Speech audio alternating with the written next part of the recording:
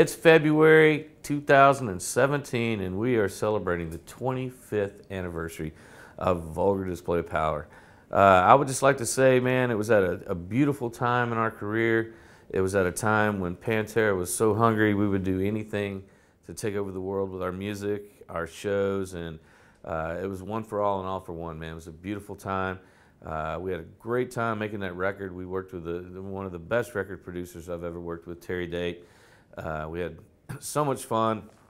And right towards the end of the record, we were about two weeks away from completing it. We got a call from our A&R guy, Mark Ross, and said, hey, man, uh, they just had this big coup in Russia, man, and we would love to have you guys come over and play with Metallica and ACDC. And we're like, wow, what an opportunity, man. We had no idea uh, how big it was going to be. We hadn't played live because we've been in the studio and we packed up all our gear. We flew to Russia and we played to a million people.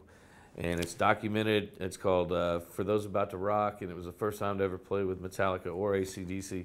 And the fans had no idea who Pantera was, but they treated us like Led Zeppelin. It was just a, an amazing experience, and we got right back into the studio and finished the record. And uh, it was a very, very, very focused record. It was a very, very heavy record.